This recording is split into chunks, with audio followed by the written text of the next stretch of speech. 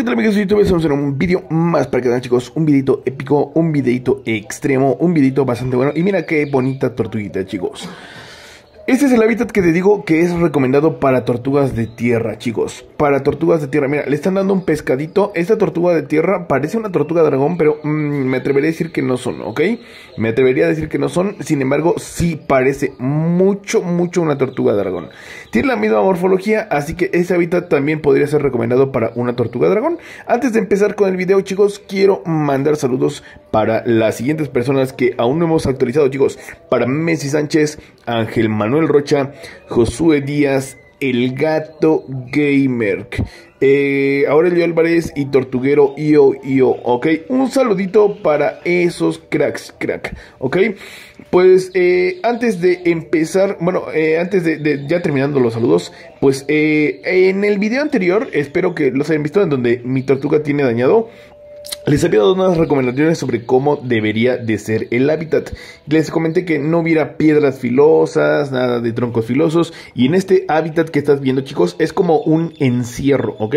Es como un encierro. ¿Qué es un encierro? Un encierro es como un pequeño corral, un pequeño, este, una pequeña zona donde encierras a determinados animales. Por eso se llama encierro. En este caso, en este encierro, en este corral, en esta eh, zona, mira, fíjate, tienen bien, bien eh, delimitado, tienen plantas, tienen malla para que las tortugas no se pasen para otro lado, tienen mucho pasto, fíjate, en el piso hay pasto, pasto, hay plantas. Es importante que haya pasto. Si no es pasto, el pasto recuerda que el zacate también es pasto. Perdón chicos, pasto corriente también. Eh, fíjate que hay unas cuantas piedrecillas. Hay mucha tierra, tierra perfecto, está excelente. Hay unas cuantas piedras que podrían eh, lastimar a la tortuga, sin embargo, eh, no son muchas, eh, están utilizándose para eh, sujetar el encierro. Este encierro, fíjate, está bastante, bastante bueno.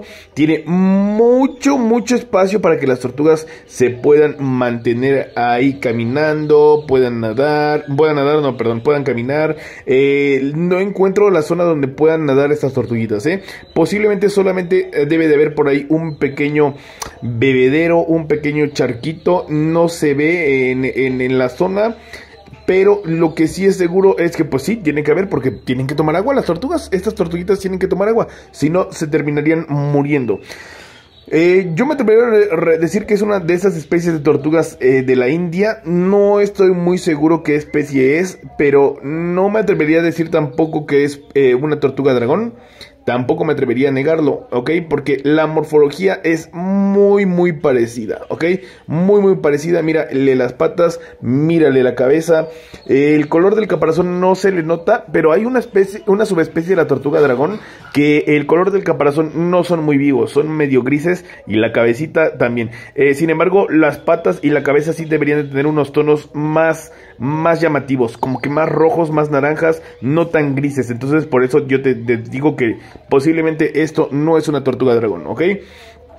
Si te fijas ahí, eh, la persona que está a cargo de estas tortugas le acaba de dar un charal a la tortuguita y se lo comió sin problema. Se lo comió sin problema esa tortuga de hábitat eh, terrestre y acuático. Recuerda que sí, las tortugas dragón sí pueden andar en el agua, sí pueden andar en la tierra.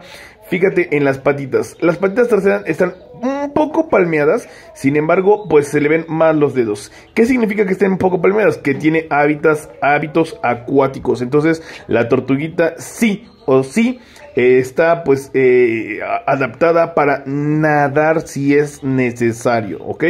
Es por eso que a este tipo de tortugas yo te recomiendo que este le pongas una zona donde se pueda meter a nadar, ¿ok?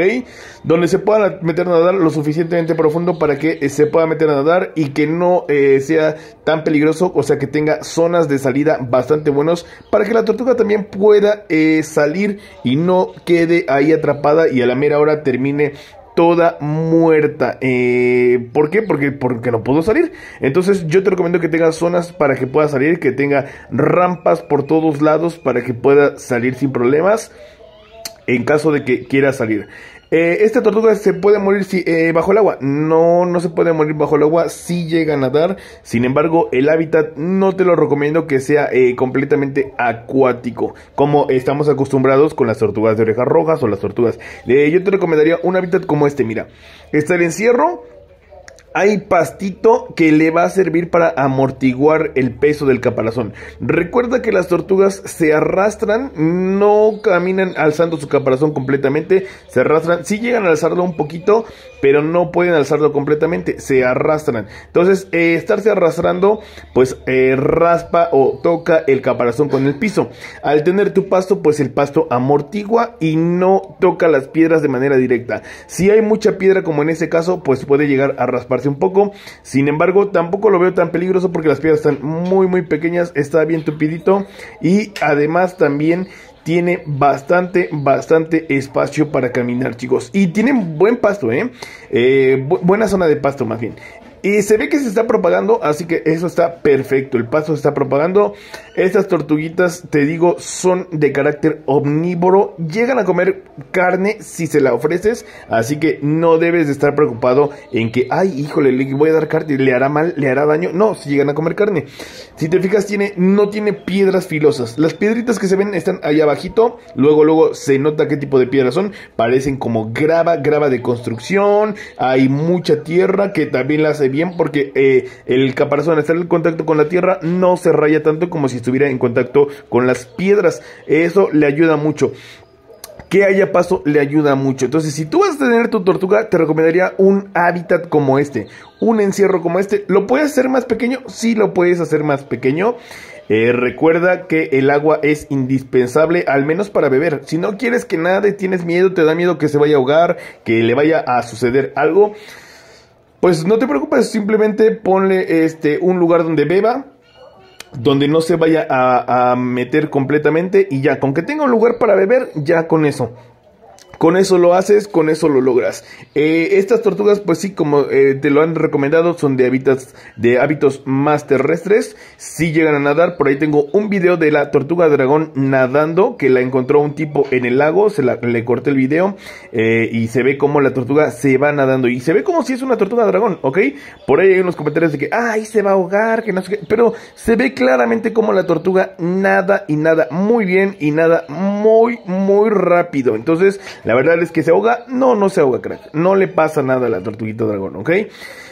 Eh, y bueno chicos, pues hasta aquí el video de hoy, espero que te haya gustado, espero que te haya, gustado, te haya dado alguna idea para hacer el hábitat para tu tortuguita dragón.